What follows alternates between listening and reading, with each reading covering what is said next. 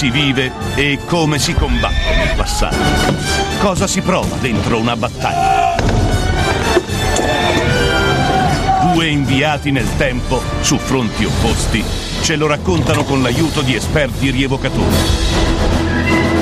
Si sfidano, si addestrano, rivivono in prima persona i conflitti che hanno segnato l'Italia, dal Medioevo al Rinascimento. Alex Braga e Giulio Spadetta sono pazzi per la storia.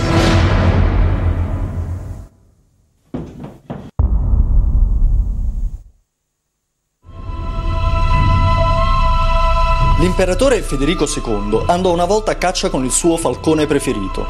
Teneva più a lui che ai propri possedimenti. Il falcone in volo vide sotto di sé un'aquila, l'aggredì e la uccise. Allora l'imperatore ordinò che al falcone fosse tagliata la testa, perché aveva ucciso il suo signore. Brutta fine sto falcone, eh? Sì, ma la novella che ti ho appena letto è una metafora. Significa che nessuno può mettersi contro l'aquila, contro il simbolo del potere imperiale. Anche se in realtà qualcuno ci ha provato. I comuni della Lega Lombarda. E certo, i comuni che sostenevano il Papa contro l'impero. E questo rifletteva anche un po' una spaccatura che dal XII secolo si diffuse e divise l'Europa e anche l'Italia. Da un lato i sostenitori del Papa, i Guelfi, dall'altro i sostenitori dell'impero, i Ghibellini.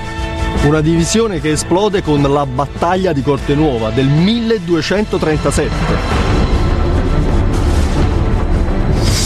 La battaglia di Corte Nuova è una delle grandi battaglie del Medioevo. Lo scontro in campo aperto tra due eserciti di circa 20.000 uomini, quello della Lega Lombarda e quello dell'imperatore Federico II.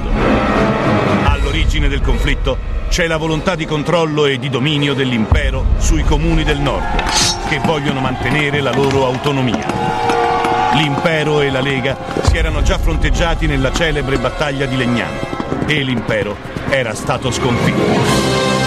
Ora, sotto la guida di Federico II, ha la possibilità di prendersi una rivincita. La guerra con la Lega però viene rimandata a lungo, anche grazie alla mediazione del Papa Gregorio IX, che per sottomettere l'impero alla Chiesa favorisce i comuni. La mediazione non ottiene risultati. Federico II non è disposto ad aspettare oltre e nel 1235 marcia con le sue truppe verso l'Italia del Nord. È pronto ad affrontare la Lega. Le intenzioni di Federico II sono bellicose. Prima sottomette i comuni veneti, poi, ringalluzzito dai successi, marcia verso la Lombardia con un esercito imponente, 10.000 uomini. Fine del 1237 Federico II punta verso Brescia e si ferma proprio qui, dove siamo noi, a Montichiari. E assedia proprio questo castello, comincia a bombardarlo, gli dà fuoco, lo radia al suolo, capito? E poi la Lega non sta con le mani in mano, si organizza per andare a proteggere e andare in aiuto di Brescia. Guardali, vedi che marciano le truppe, arrivano da Milano, da Lodi, da Alessandria, da Vercelli, vedi? No, non vedo niente. Guarda meglio, tieni. In effetti, in effetti qualcosa si vede. eh.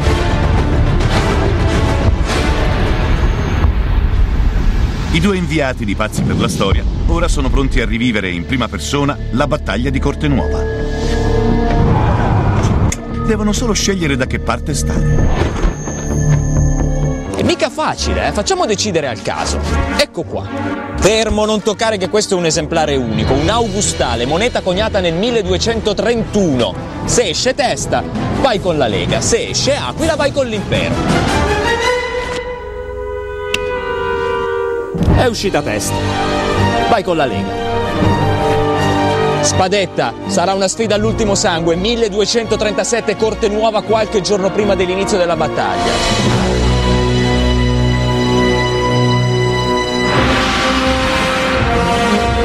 La sfida è iniziata.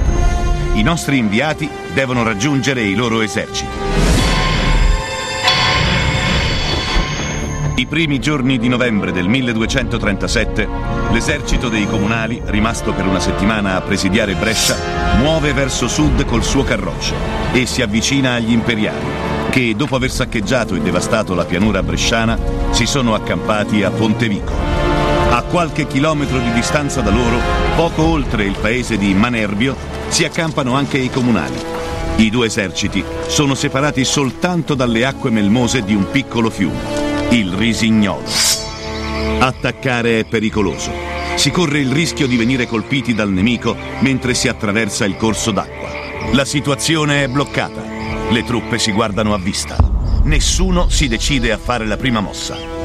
Nella nostra ricostruzione è il 16 novembre 1237. Mancano 11 giorni alla battaglia di Corte Nuova.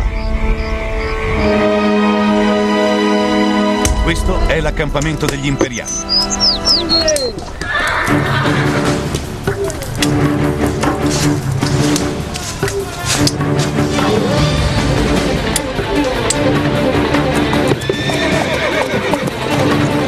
Il mio esercito. Un vero esercito multietnico e multiculturale, eh?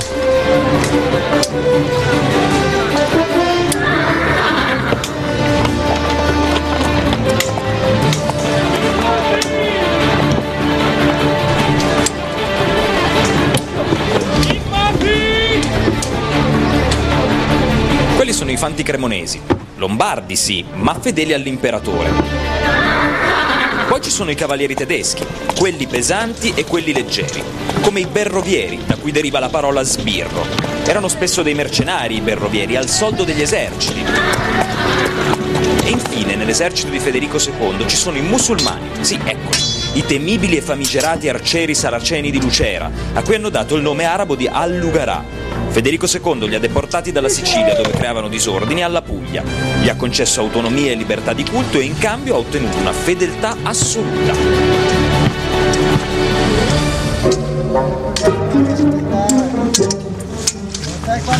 Non è che io abbia molto la faccia da saraceno, però loro sono un reparto leggendario, io voglio arruolarmi con loro. Ma chissà se saranno ospitali, come mi accoglieranno vestito così.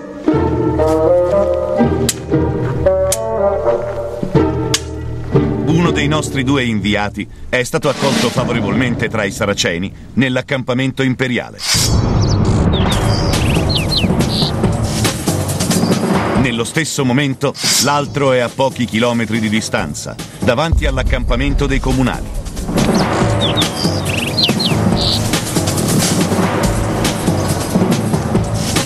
I comunali qui da voi lombardi lavorano sodo.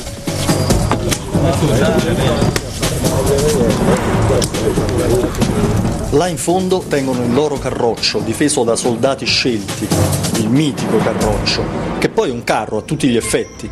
Lì davanti c'è il timone a cui vengono attaccati i buoi che lo trainano. Sì, perché gli eserciti comunali se lo portano sempre appresso in ogni impresa militare. È un'eredità della cultura nomade dei barbari ma soprattutto il carroccio è il simbolo dei comuni in guerra, un simbolo che sia laico che religioso. Sopra ci sono le insegne cittadine, i gonfaloni, ma c'è anche l'altare con la grande croce di legno. Prima della battaglia, sull'altare, si celebra la messa ed è sempre sul carroccio che si raccolgono e si curano i feriti. Insomma, è un punto di riferimento in tutto e per tutto. Bene, voglio proprio fare parte dell'esercito comunale.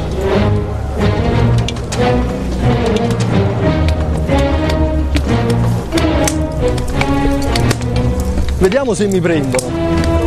Siccome sono l'ultimo arrivato, potrò giusto fare il fante, il fante semplice.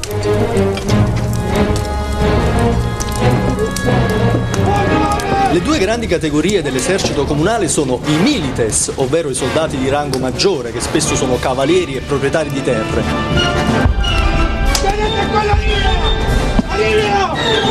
E poi ci sono i pedites, gli appiedati, i fanti, ma anche qui bisogna differenziare, ci sono i fanti specializzati, cioè balestrieri e lancieri, e poi c'è l'umile massa di quei fanti che non vengono considerati neanche militari, ma populus, popolo. Fante veste semplice, in testa ho questa cuffietta, si chiama infula perché è cattiva educazione andare in giro a capo scoperto. Questa si chiama gonnella ma in realtà è il tipico capo maschile. Bisogna sblusarla un po', la moda prevede proprio questa operazione. E infine c'è questo, si chiama bambagione, non è un insulto, è detto anche zuppa armandi, giubba armata. Il bambagione è fatto di stracci e di crine. Questa è l'armatura dei poveri, è la protezione più semplice che c'è. L'abbigliamento di base del fante comunale è completo. Nell'accampamento imperiale, intanto, è in corso la vestizione del nuovo arciere saraceno. Ho iniziato la mia vestizione. Questa è la durra, una tunica di lana, no? Di lana. Ai piedi calzo delle babujat, Babuscia. cioè delle babbucce di pelle di pecora. Proseguiamo con il copricapo sotto elmo.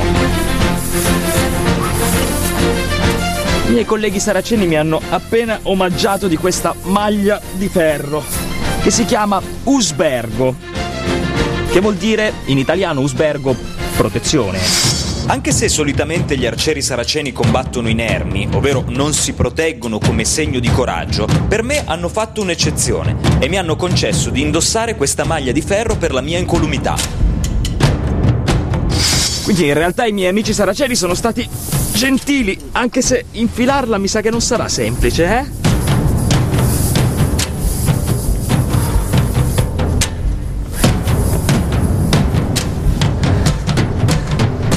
Pesante, 15 kg. 15 kg. Grazie del regalo.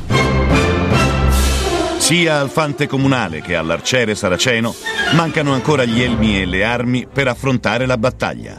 Il fante si protegge il capo con la cervelliera, l'elmo più elementare e più diffuso nel 200. Una semplice calotta in ferro battuto. L'elmo dell'arciere saraceno ha forma ovale e si chiama bidà, che in arabo vuol dire esattamente uovo. L'uovo viene decorato con il segno distintivo dei saraceni, il turbante, una fascia di lino di 3 metri che si avvolge attorno all'elmo. Per la difesa personale, il fante ha un'ascia che porta infilata alla cintola. L'arciere, nella fascia di lino bianca annodata in vita, ha il kalankur, una spada ricurva dall'impugnatura in osso. Il fante comunale è un fante palvesaro, cioè addetto al pavese o palvese, un grande scudo di legno in uso dall'undicesimo secolo, del peso di 2 kg. Si impugna da dietro, infilando il braccio in due fasce di cuoio. Il palvese ha la funzione essenziale di coprire in battaglia la figura del fante. Lo scudo dell'arciere invece è un piccolo disco in cuoio chiamato rotella.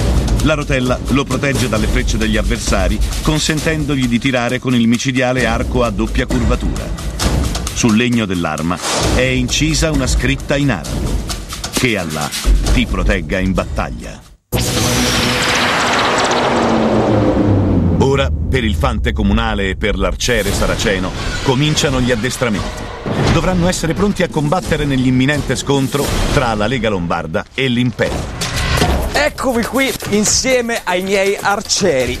Siamo 10 perché la decina è l'unità di base. Due fanti in testa che proteggono il gruppo e otto arcieri in fila indiana chiude il Nazir, cioè il capo di tutti.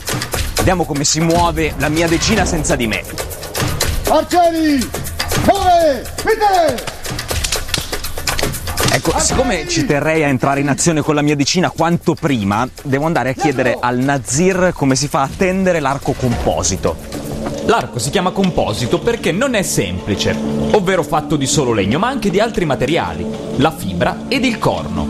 La sua forma così curvata e flessuosa permette di caricare meglio il colpo e di lanciare le frecce a maggiore distanza rispetto agli archi occidentali. 400 metri di gittata contro i 300 di un arco inglese. Scusi Nazir, io so che per scoccare le frecce con quest'arco si usa un metodo particolare chiamato metodo del pollice, no? Che è una cosa semplice. Assolutamente no. No. E me lo insegnerebbe?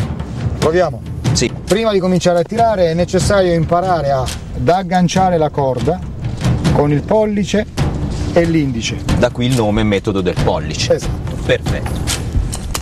Il respiro diventa fondamentale.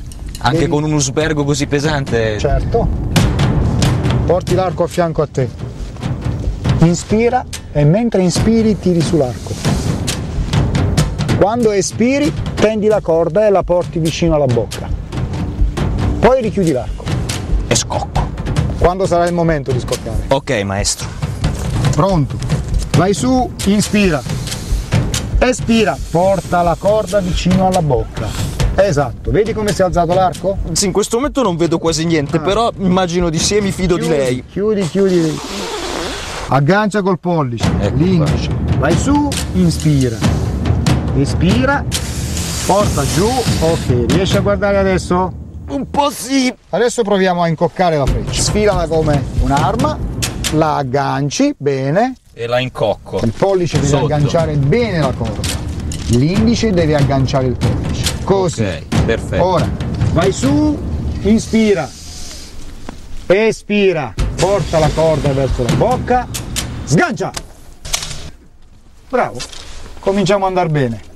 Va bene Alex, è il momento di inquadrarti nella decina. Adesso dovrai imparare a muoverti avanti insieme agli altri compagni. Va bene. Quando darò il comando, scudo muove.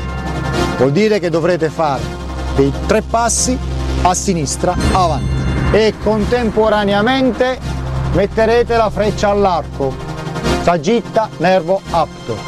Quando poi sarete sul punto, io vi darò il comando di arcum adducere e quindi tenderete al mittere, scaglierete tutti insieme. Chiaro per tutti? Bene. Arcieri! A scudo, muove! Sagitta, nervo, apto! Arcum, adducere! Fitole! Ce l'ho fatta! Ce l'hai fatta, complimenti!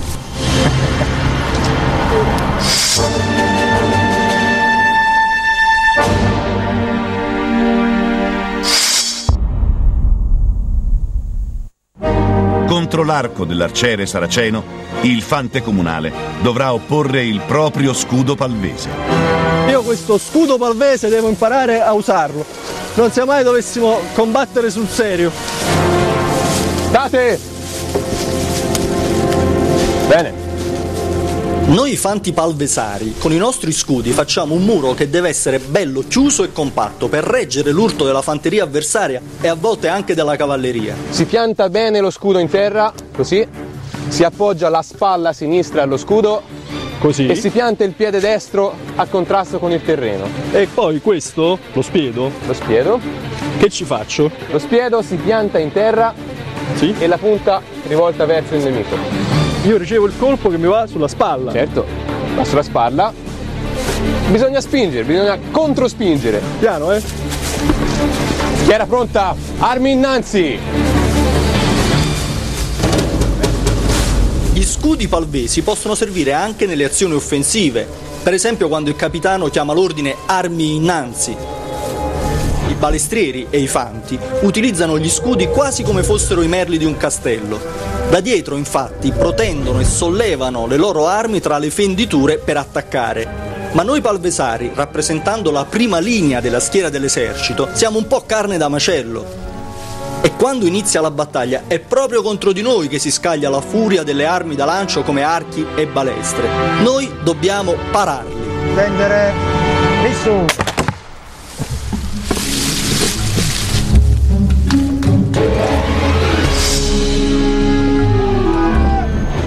Terminato l'addestramento, il fante comunale è pronto per raggiungere la tenda che gli è stata destinata per la notte. Scusi, ma per dormire io in che tenda mi posso accomodare? Negli accampamenti ci sono le tende fatte di tela e pali di legna, dove dormono i soldati professionisti e i fanti più esperti. E poi ci sono le tende per noi, fatte di paglia e di sterpi. Ma io le conosco bene queste tende, le ho viste tale e quali nel meraviglioso affresco di Simone Martini che sta a Palazzo Vecchio a Siena. Uguali proprio. Certo però, a parte questo bel riferimento pittorico, dormirci dentro non è che deve essere il massimo. Nel Medioevo, negli accampamenti, il concetto di tenda singola non esiste e infatti in ogni tenda ci sono almeno tre uomini. Sì, scaldano un po', ma certo la situazione non è agevole, ve lo assicuro.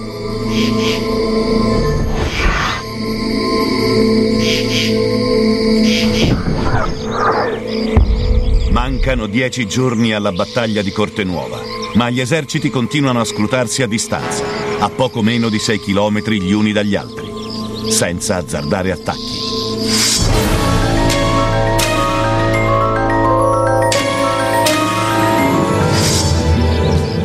Le acque del Risignolo sono sempre più impraticabili. La situazione avvantaggia i comunali. Il loro esercito è meno potente ed esperto di quello imperiale. La speranza della Lega Lombarda è che con l'avanzare dell'inverno le truppe di Federico II si ritirino, rimandando lo scontro. Comunali se ne stanno approfittando, eh? però noi siamo più forti e meglio preparati. Le uniche armi che loro hanno a disposizione sono l'inverno e quella paludaccia che ci separa. Tra l'altro Federico II aveva anche proposto uno scontro su un terreno migliore secondo le regole del fair play cavalleresco, ma loro hanno rifiutato. Il fante comunale e l'arciere saraceno continuano ad addestrarsi per essere comunque pronti a combattere.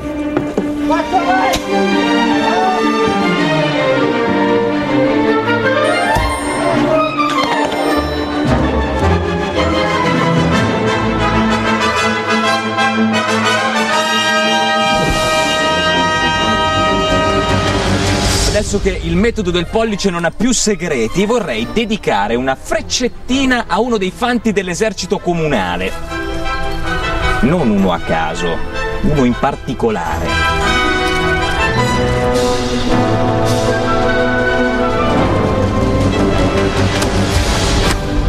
Parata! Sia gli imperiali che i comunali credono di tenere in pugno la situazione, ma una mossa a sorpresa sta per cambiare gli equilibri. Tra nove giorni si scatenerà la battaglia di Cortenuova. Come un falcone imperiale sto per gettarmi su di te.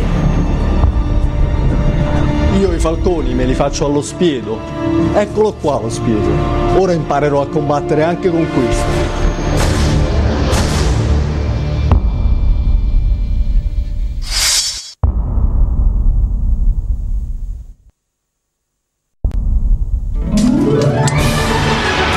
Inviati di Pazzi per la Storia, grazie all'aiuto di esperti rievocatori, stanno per rivivere la grande battaglia di Cortenuova, combattuta tra i comuni della Lega Lombarda e l'esercito imperiale di Federico II. Si scontreranno su due fronti opposti, un fante comunale contro un arciere saraceno. Ora si sono addestrati per prepararsi al combattimento, mentre i loro due eserciti si guardano a vista a pochi chilometri gli uni dagli altri, accampati sul corso d'acqua del Risignolo tra Pontevico e Manerbio, in provincia di Brescia. Mancano otto giorni alla battaglia, ma la situazione sembra bloccata. Il nostro inviato tra gli imperiali, approfittando di questa attesa forzata, si veste da falconiere per esercitarsi in quell'arte che Federico II non abbandonava mai, neanche durante le campagne militari, la caccia con il falcone. L'imperatore si è esercitato nella falconeria lungo tutta la sua vita, raccogliendo il suo vasto sapere in materia in un trattato, l'arte di cacciare con i volati, la summa di una disciplina complessa che allena l'intelligenza e il coraggio.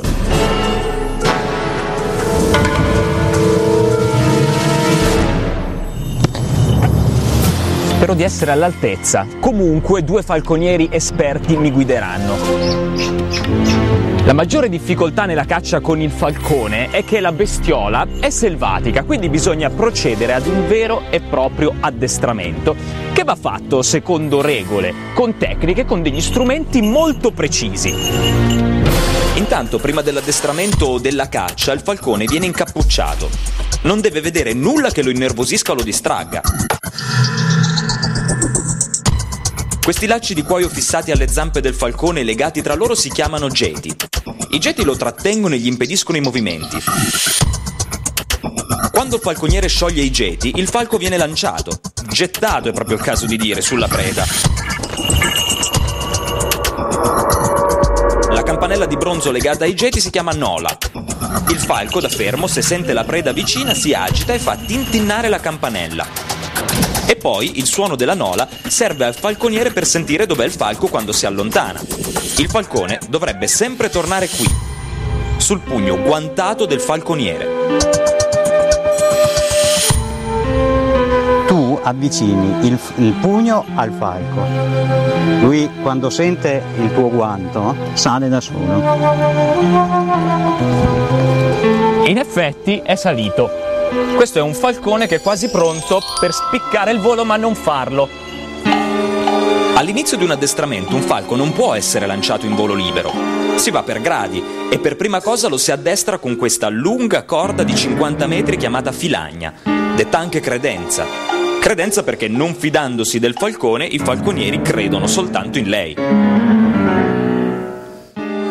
Quindi io adesso tengo un pezzo di carne e lui volerà sul mio pugno. Siamo sicuri? Abbastanza. Dai, dai. Ecco, bravo. Malik è arrivato. Malik adesso ha imparato ad atterrare sul mio guanto con la filagna. Ora il falco deve imparare a conoscere il logoro. Il logoro è una falsa preda, cioè è un fantoccio fatto di penne e piume. Quando il falcone prende confidenza con il logoro si può provare a farlo volare libero senza filagna, senza corda. Maestro, lanciamo il falcone in volo libero. Si fa ruotare il logoro mentre il falcone è in volo e poi si lancia in aria e il falcone lo cattura. Si avventa sul logoro proprio come farà a caccia con le vere prede. Mentre i falconieri imperiali sono impegnati nei loro esercizi, il fante comunale vicino al proprio accampamento continua ad addestrarsi in vista di una battaglia che il suo esercito vorrebbe provare a rimandare il più a lungo possibile. Io qui sto cercando di prendere confidenza con lo spiedo, con quest'arma qua. Finora l'ho usato soltanto in chiave difensiva, protetto dal palvese. Potrebbe anche essere che questo pavese tu lo perdi in battaglia. A, quel, a quel punto sarei costretto a combattere con lo spiedo qui. Certamente, certamente. Lo spiedo è un'arma piuttosto rudimentale, anche se è un attrezzo ingegnoso a modo suo. Ad esempio, la base che sta sotto la punta dello spiedo è una sorta di sistema di sicurezza, serve per impedire che l'arma affondi troppo nel corpo che colpisce. Con questo sistema, invece, l'arma affonda solo quanto basta e si può estrarre velocemente per poi sferrare subito un altro colpo. Vediamo come funziona il combattimento faccia a faccia. Piano però, eh. Piano, piano, piano, non ti preoccupare. Allora, tu provi a venirmi incontro e io ti devo... Ora, ora io, devo fare? Ti scarto di lato? Esatto. Proviamo, piano, eh. E a quel punto ti posso Mi venire affondi. addosso. Adesso fammela vedere tu una parata, se io provo a venirti addosso. Tu che cosa fai? Io Dai. ti punto così, Sì? Dai. vado. Affonda. Speriamo che questo non accada in battaglia. Battaglia a parte, lo spiedo si può usare anche in modo più pacifico, per andare a caccia di cinghiali ad esempio. Si avanza nel bosco con questa formazione, i balestrieri in testa, pronti a ferire la preda con le loro frecce, e dietro noi fanti, armati di spiedo, che abbiamo il compito di raggiungere l'animale e sferrargli il colpo di grazia. Un'altra notte è scesa sulla pianura bresciana. Nell'accampamento imperiale, tra le tende dei saraceni, nonostante le preoccupazioni militari, non si rinuncia ai riti della convivialità. Dopo la caccia col falcone sono ritornato in abiti da arciere saraceno. Ho anche voglia di gustarmi un buon manicaretto arabo, che i miei amici saraceni in cucina sono degli assi. Sì, perché per gli arabi mangiare non vuol dire soltanto nutrirsi, ma mangiare equivale a una scienza, a una disciplina. Nella dietetica araba il cibo è suddiviso per qualità, ovvero se è caldo, freddo, umido o secco, per punto di maturazione ed età e per gli effetti benefici o malefici che provoca. Gli arabi fanno anche una distinzione tra alimento e medicamento. Se il cibo accresce il corpo è un alimento, se invece agisce sul corpo solo per le caratteristiche che possiede è un medicamento e le spezie, visto che non accrescono il corpo, sono dei medicamenti, dei farmaci, modificano la qualità dei cibi, aggiungendogli sapore e le loro specifiche proprietà. Gli arabi, non a caso, usano tantissimo le spezie.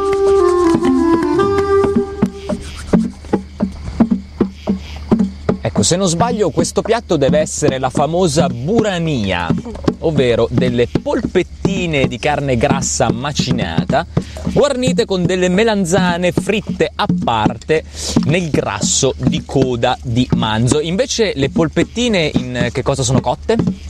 Sono cotte in coriandolo fresco e bastoncini di cannella. Coriandolo fresco e bastoncini di cannella. Posso assaggiare?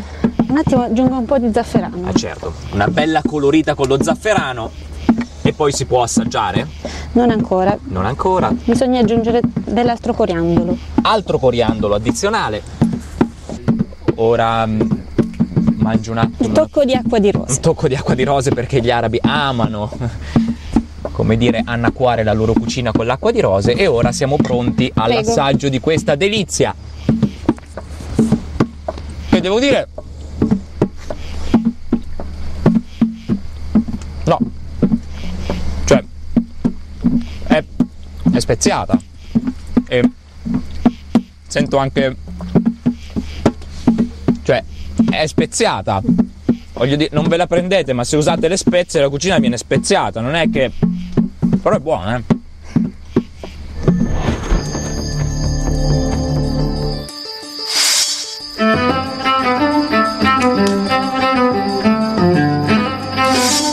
Anche nell'accampamento dei comunali si prova a stemperare la tensione. Noi di cinghiali a caccia non ne abbiamo trovati e anche le ricette troppo raffinate non fanno per noi. Per riscaldarci ci basta il vino, una cosa molto comune negli accampamenti, un bel pentolone di vino caldo con le mele e vino cotto e una bevanda tipica anche delle taverne. E quella che ho davanti è proprio una scena da taverna, un posto dove si beve e si gioca. E forse uno di questi giocatori è un ribaldo o un biscazziere. Si tratta di termini precisi, mica di offese. I ribaldi o biscazzieri sono dei personaggi ai limiti della malavita organizzata che seguono gli eserciti in trasferta. Si occupano dei luoghi dove viene praticato il gioco d'azzardo, le biscazze o, più semplicemente, bische. I nostri amici qui stanno giocando alla Zara, che è una specie di morra, solo che si gioca con i dadi e non con le dita. Il giocatore deve indovinare la somma che farà lanciando i dadi, ma subito prima di lanciarli. E si gioca a soldi. Io sono pronto a giocare una mano con loro. Metto il soldo, dico 10. 11. 11. 6. 7. Il gioco della Zara ha origine araba. Zar in eh, arabo significa dado e da questa stessa parola zar deriva il termine azzardo. Quindi possiamo dire che la Zara è il gioco d'azzardo per eccellenza. E io trovandomi mi faccio anche un'altra mano. 8. Se per i comunali prendere tempo è una strategia precisa, tra le fila degli imperiali accampati a pochi chilometri di distanza dal nemico, al contrario, la situazione è sempre più difficile da gestire. Alcune milizie mercenarie hanno chiesto all'imperatore di essere congedate. Sta succedendo quello che Federico II aveva previsto. Il suo potente esercito si sta sfaldando.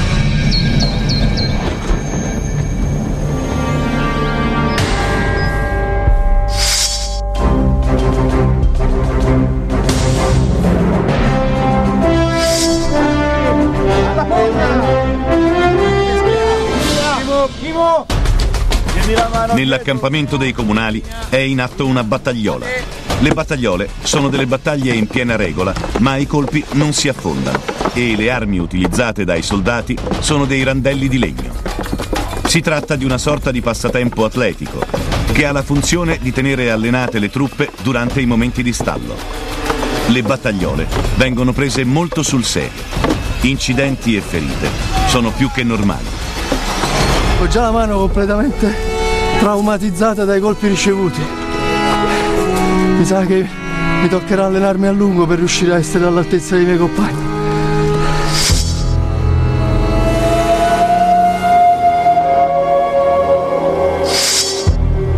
Anche gli imperiali nel loro accampamento si tengono in esercizio.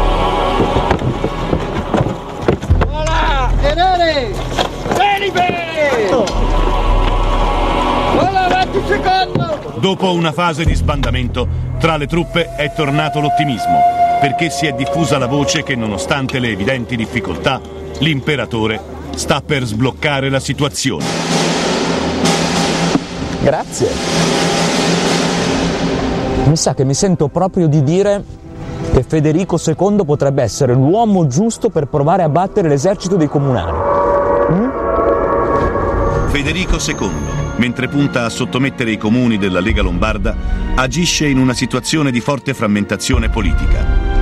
Il nord Italia nel 1237, infatti, è un territorio a macchia di leopardo, diviso tra comuni guelfi, fedeli al Papa, come Milano, Brescia e Treviso, e comuni ghibellini, fedeli all'imperatore, come Bergamo e Cremona.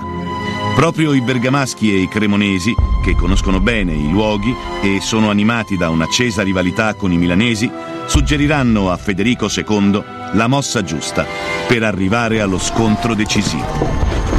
Ormai mancano sei giorni alla battaglia. Adesso il fante comunale e l'arciere saraceno, guidati da due maestri d'arme, si impegneranno in un ultimo addestramento. Dall'alto in basso. Dall'alto in basso, a e tagliare a in diagonale. tagliare in diagonale portando tutto il peso. Sono stati preparati due manichini, uno con la maglia di ferro indossata dall'arciere, l'altro con il bambagione, la tunica imbottita del fante comunale. La maglia di ferro dell'arciere non viene intaccata per nulla quando riceve dei colpi di spada portati sia di taglio Dritto e rovescio. che di punta. I suoi anelli intrecciati e fissati tra loro con un chiodino o rivetto rappresentano una protezione quasi impenetrabile. Adesso voglio fare un ultimo tentativo con la mia arma, con lo spiedo, vediamo se almeno questo risulta efficace.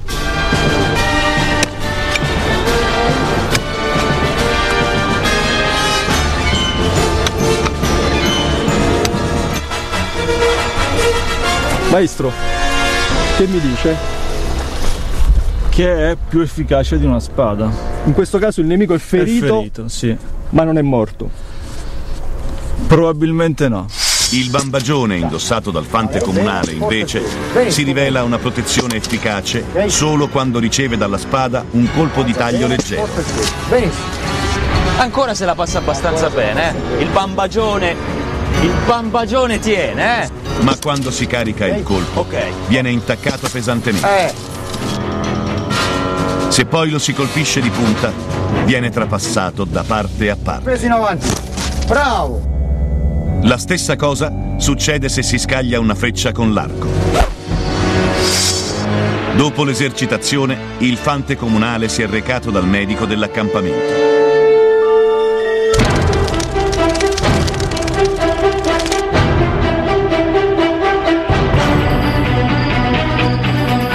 Molta stima per il mio nemico, però facciamo conto che il costatone di manzo che ho appena colpito sia il suo corpo. Due o tre ferite buone sono riuscito a fargliele. Allora io che alla fine sono buono e caritatevole, ho deciso di portarlo dal medico dell'accampamento, dal cerusico. Eccolo qui. La Chiesa Cattolica nel Medioevo ha osteggiato lo sviluppo della medicina come scienza e così per la cura della salute e delle ferite di guerra sono rimasti solo loro, i cerusici. Non sono dei medici né degli scienziati, ma dei praticoni della medicina che fanno un po' tutto. Sul tavolo del cerusico e anche di questo cerusico ci sono i bisturi, gli scalpelli ossei, i ferri da dentista e la spongia somnifera, molto interessante. Un sistema anestetico già usato dai romani. È una spugna marina passata nell'estratto fresco di alcune piante mediche, tra cui la cicuta, insieme ad alcune gocce di oppio. Dottore, proviamo a fare una disamina, una diagnosi, come si possono curare queste ferite? Allora, per prima cosa andiamo a valutare la profondità delle ferite e la direzione. E come lo facciamo? L'avvalgo di una sonda di piombo, la stessa che si usa per le fistole. Bene, la ferita non è molto profonda, in questa in particolare. È curabile. Possiamo cauterizzare. Che significa cauterizzare? Il cauterio è uno strumento che viene posto su un braciere riscaldato e poi lo si utilizza per appunto per cauterizzare, per bruciare la ferita e quindi far restringere i vasi sanguigni, bloccare l'emorragia e chiudere la ferita. Quindi in sostanza la rimarginiamo bruciando i lembi della pelle? Sì. Vediamo come si fa.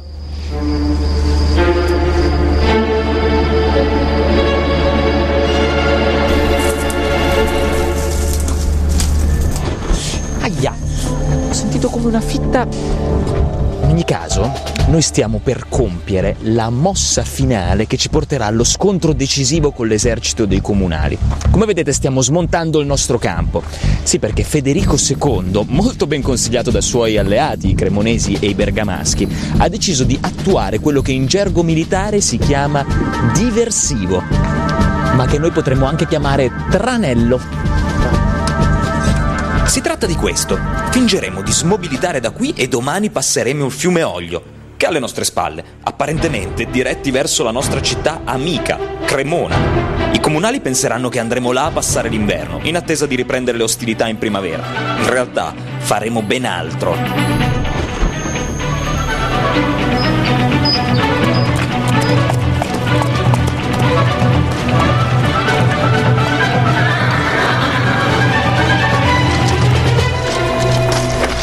È la mattina del 22 novembre 1237, dopo 14 giorni di sterile duello a distanza, stiamo per attraversare il fiume perché andiamo a casa. Si va a Cremona! Capito? Andiamo a Cremona!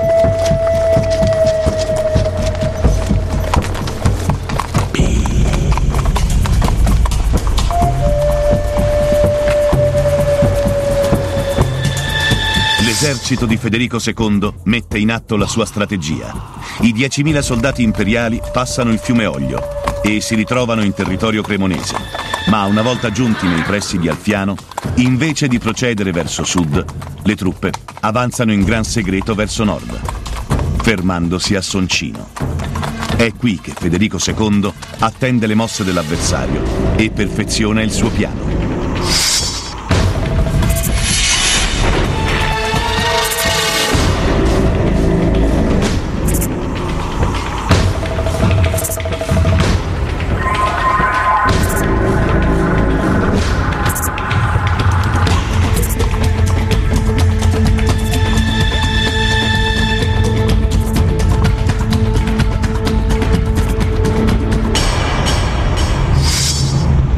Resistere in certe condizioni bisogna essere forti, forti come noi, soldati comunali. Tu ancora non lo sai, ma ci rivedremo fra poco e sarà battaglia sui campi di Corte Nuova.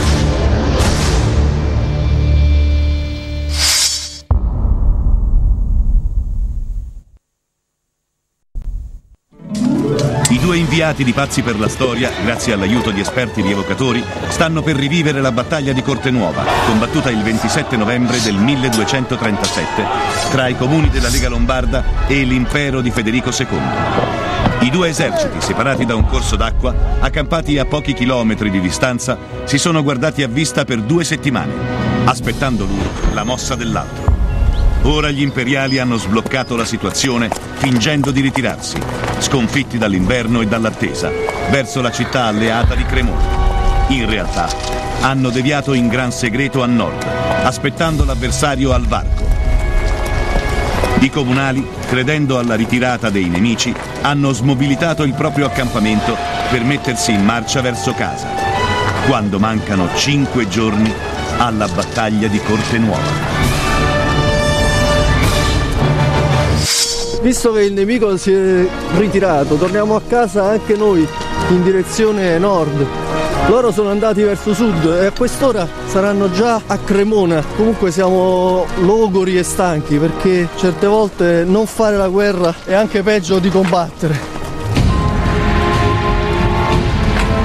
L'esercito comunale insieme al suo inseparabile carroccio sta muovendo verso nord, in direzione di Pontoglio, lungo un percorso a tappe forzate. Passa da Offlaga, Lograto e Chiari. Dopo cinque giorni di marcia, la mattina del 27 novembre 1237, le truppe della Lega Lombarda attraversano il fiume a Pontoglio e si dirigono verso i campi di Cortenuova. È una sosta obbligata. È il luogo stabilito per accamparsi. Lo sanno bene le guarnigioni bergamasche che spiano i movimenti delle truppe dal vicino castello di Cividate per avvertire i loro alleati imperiali appostati in un bosco tra Cividate e Cortenuova, il bosco del Covello. Questo è il giorno della battaglia.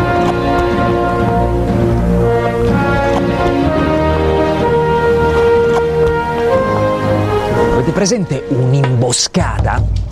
Non a caso siamo in un bosco. Ieri abbiamo lasciato il paese di Soncino e adesso siamo qui nel bosco del Covello perché Federico II la scorsa notte ha elaborato il piano di attacco. Naturalmente l'esercito dei comunali non sospetta nulla e noi siamo qui ad aspettare il segnale dei fedeli alleati bergamaschi.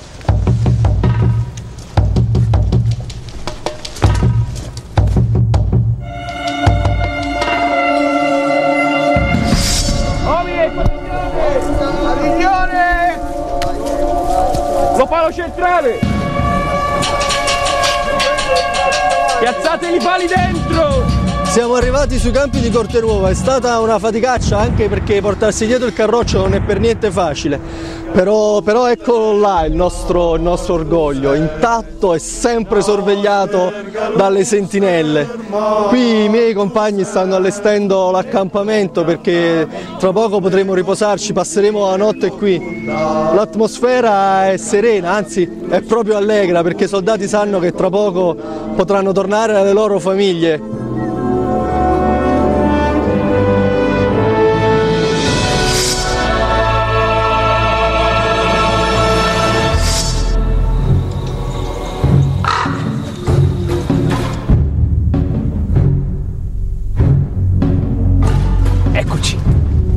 Ci siamo, quello è il segnale di fumo che aspettavamo dai bergamaschi. Andiamo! Sono le ore 15 del 27 novembre 1237. Il piano di Federico II può finalmente compiersi. Le sue truppe lasciano il bosco del Covello e iniziano ad avanzare divise in sette schiere da est e da ovest.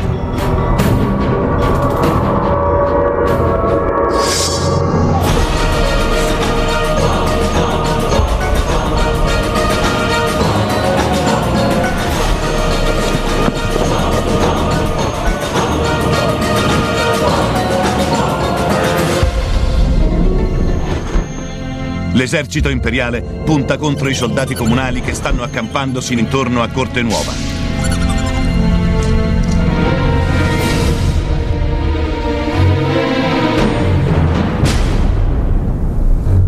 I primi ad attaccare saranno gli arcieri saraceni. In battaglia siamo sempre noi arcieri ad aprire le danze. La nostra pioggia di frecce è una sorta di fischio d'inizio. Si chiama tiro di copertura e serve ad aprire la strada al resto delle truppe e soprattutto a far sbandare l'esercito avversario che ancora non si è organizzato. Adesso aspetto l'ordine del Nazir e poi vado.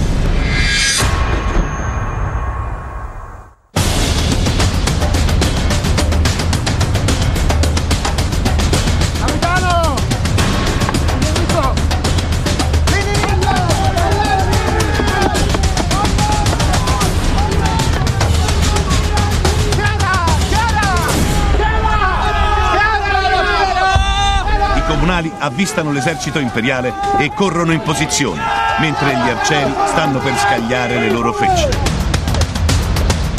Partita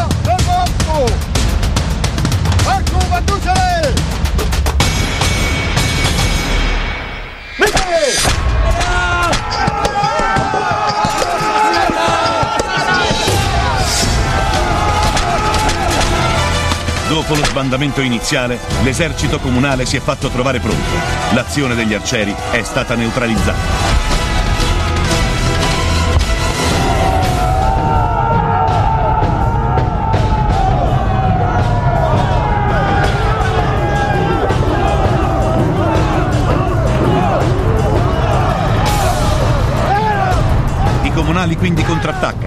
Come ha scritto Pierre delle Vigne, consigliere dell'imperatore, sui campi di Corte Nuova si scatena una terribile battaglia.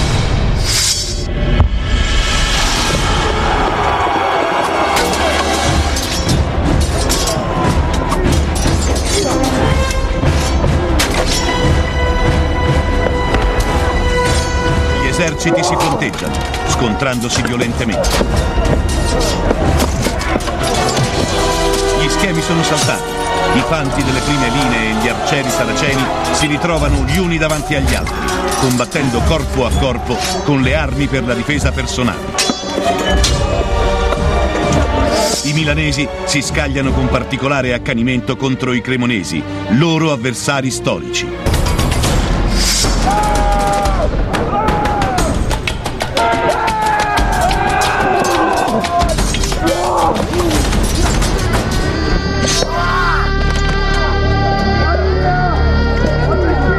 Truppe della Lega Lombarda sembrano avere retto l'urto nonostante le perdite subite.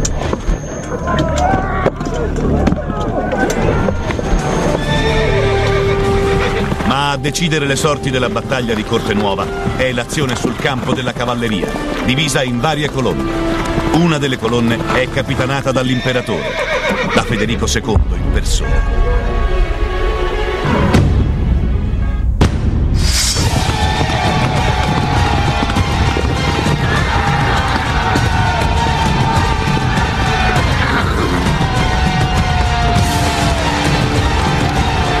Cavalleria imperiale piega militarmente l'azione dei comunali, un'avanzata travolgente che sancisce di fatto la vittoria di Federico II.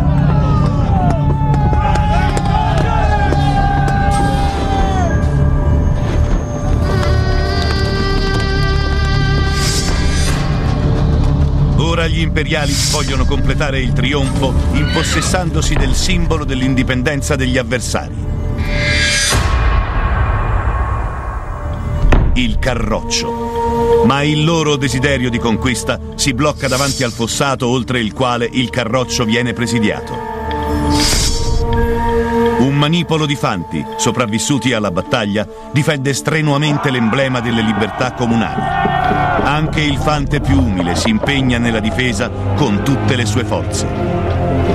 Sì, ci sono anch'io a difendere il carroccio, lo difendiamo con le armi e con il coraggio che ci è rimasto. Gli imperiali ce lo vogliono prendere, stanno qua a pochi metri, c'è solo un fossato che ci divide. Smettila di fare l'eroe, dai, su almeno tu arrenditi all'imperatore, dai! Mai! Il carroccio è una questione d'orgoglio! Ma dai! Non lo molleremo mai! Ti prego, finiamola qui, piove anche, dateci sto carroccio e basta, su! Non siamo disposti ad arretrare di un millimetro! Se c'è da fare notte, facciamo notte!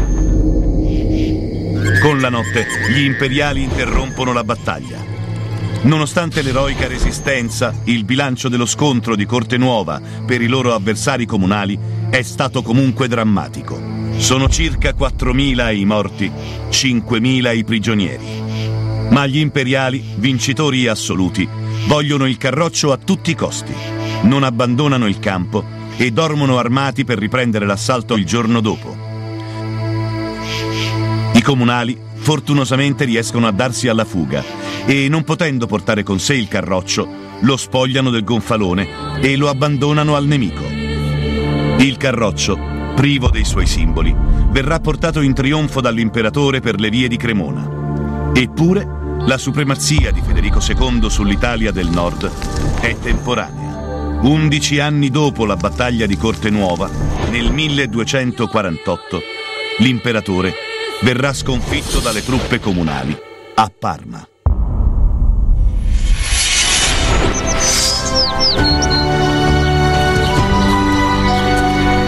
Hai visto? Bastava aspettare qualche anno, ti avrei battuto. Spadetta che vuoi, la storia è così. Oggi a te, domani a te. Senti, facciamo un'altra sfida. No, basta però. Basta le sfide. Una garettina di corsa alla macchina e chi perde perde anche la prossima no, battaglia. 3, 2, 1, via! Ma mi stavano più simpatici soldati con comunitari!